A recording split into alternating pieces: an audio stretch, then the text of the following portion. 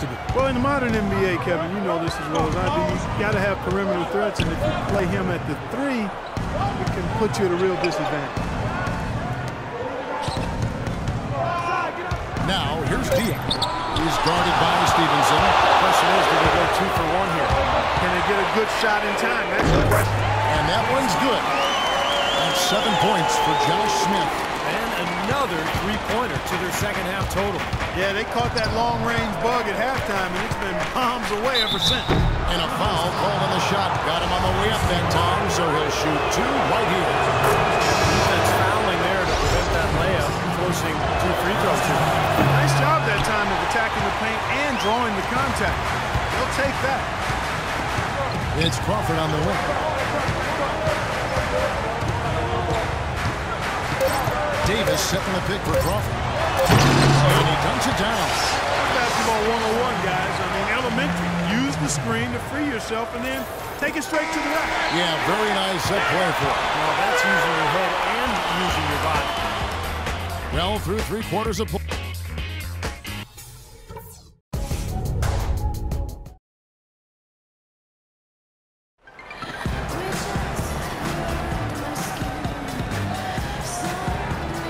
About a look at today's State Farm assist of the game? Yeah, let's do it. I, I love the way this play developed. I think this offense really thrives off of plays like that. Turned it into an easy basket.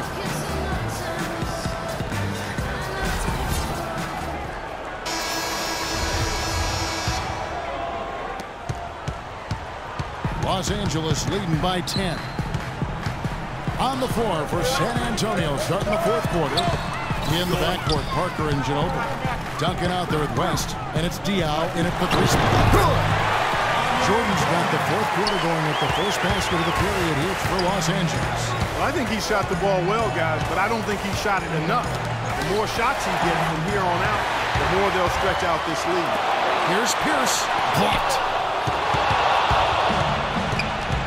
And the foul called on Blake Griffin. That's his fourth foul of the contest. That foul gives him four, so he's just two away from being Dairy Queen. Spurs making a switch here. Leonard's checked in. Parker passes to Ginobili. That drops, and it comes off an assist from Parker. And it's nine points for Manu Ginobili. Leonard against Griffin. Paul outside. From 13, and the jumper is on the mark. Paul's got the lead up to 12 now for Los Angeles. They're going to have to tighten up defensively, guys, because they're really giving up way too many open looks. A shot by Jordan, no good.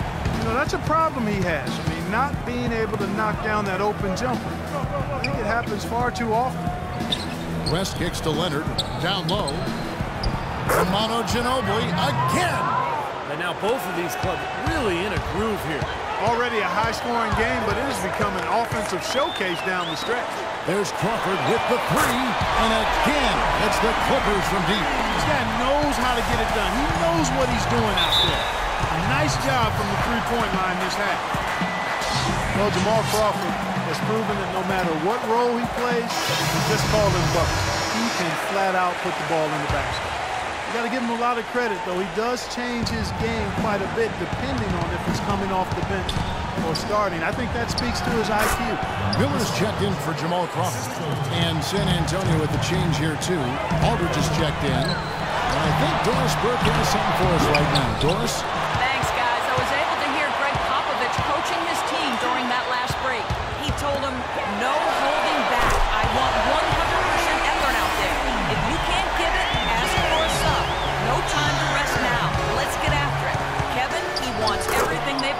And thanks for that story, Doris. And as you said with Jamal, a lot of players can't really make that change between a starter or a sub, but he does it so smoothly in such short time, it really adds a lot of utility to his team. That one's good, and the Clipper lead is cut down now to just 10 on the basket from Parker. Oh, and he's going for the alley here, and the dunk by Jordan. And the lead just grows on that ridiculous offensive sequence. No, Clark, that dunk alone would have been spectacular. Never mind it coming at the end of an alley-oop. Yeah, that just added more to it. Yeah, what a beautiful connection on that play. And the shot is good. Well, Crawford described it perfectly, Clark, when he said as a six-man you have to come in and force yourself into the game. As a starter, the pressure isn't there as much as you can go with the flow. Yeah, players like him can often do one or the other. Come in firing off the bench or let the game come to you. But rarely can they assess what the team needs like Crawford does and adjust on the fly so smoothly. Leonard attacking. Here's Duncan. And they had their chances. Two offensive rebounds, but they still come up empty. And the wide open shot from Griffin. And he didn't get quite enough under that one. Spurs trail by 13. Lets it go from 14. And that one's good. 12 points for Kawhi Leonard. And they have to mix it up defensively. That was just too easy.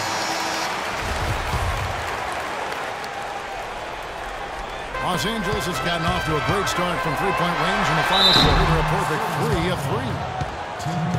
What is insane about the Spurs and how successful they are as a franchise is that in their entire franchise history, they've only missed the playoffs four times. That is absolutely remarkable.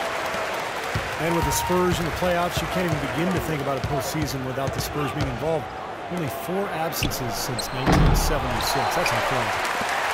Los Angeles leading by 13. Miller with the ball. He's picked up by Parker.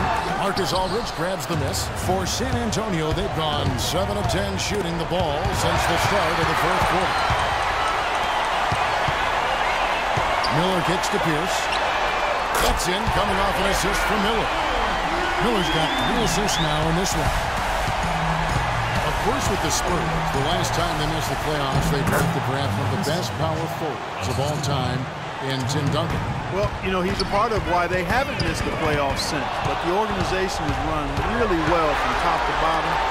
They deserve nothing but the success they've had since their inception because of that. I love it when a player like this shakes off a poor first half and comes back strong like he has, showing a lot of confidence in his game. Pierce up again, and then Griffin with the dunk. And the Clippers lead by 14. Now that's no run-of-the-mill putback there. Well, the rebound and then the dunk, one on top of the other. The one-two punch, gotta love it.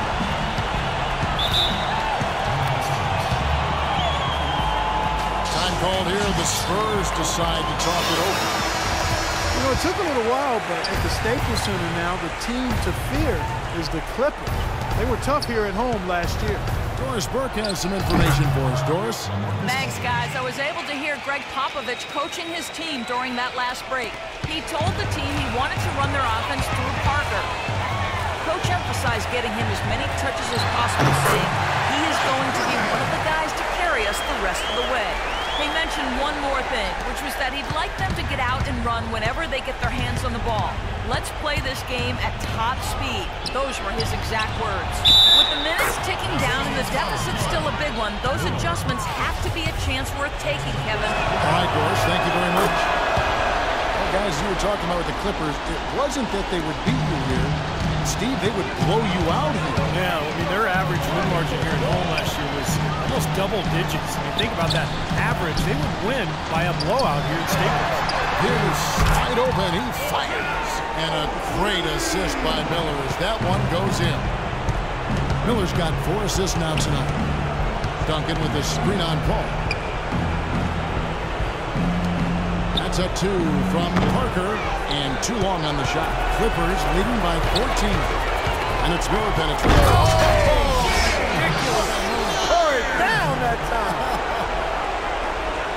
well, what we saw here tonight is one team just had everything going for it, and the other didn't. Huge margin of victory for Los Angeles. Better shooting from the charity stripe was what made the difference, I think, Clark, in this one. And I think it was a matter of concentration, Kevin. They really locked in from the line. And now, for the year, this is going to take them to seven wins. Well, this win gives them a victory in round one of what's basically a four-game fight between these teams this season. And it will be a fight, Steve. When you see an opponent that many times, it's inevitable that those games take on a little extra meaning for the players. Beyond the actual result of this game, I think fans are going to look back and see this was just a monstrous performance for Chris Paul. You can't look back at too many major moments in this game and not see him being a part of it. He was all over this one. And now in transition is Mills. Here we go. They need this. And that one's good. That's a tougher shot than you hope for off a fast break, but you can't argue with the result. The Clippers shooting so far very efficient all around, about 55%. Griffin dishes to Smith. And the Clippers getting another bucket right there. They got to feel pretty good about this win tonight, guys, defending their home floor. Yeah, and just riding it out here now. I mean, they gave the fans what they wanted. It's interesting. They're like a different team now. Suddenly, they've got energy. You know, it's not going to change anything, though, other than to make their losing margin a little more respectable. Davis setting the pick for Griffin, and the foul called on Blake Griffin. That's his fifth foul.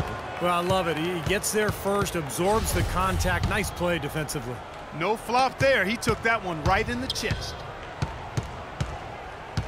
Belinelli with the three, and it's good. Now Rivers. Kicks it to Griffin.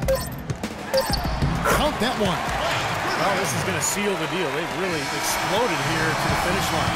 You know, once they sniffed out that blood in the water, the killer instinct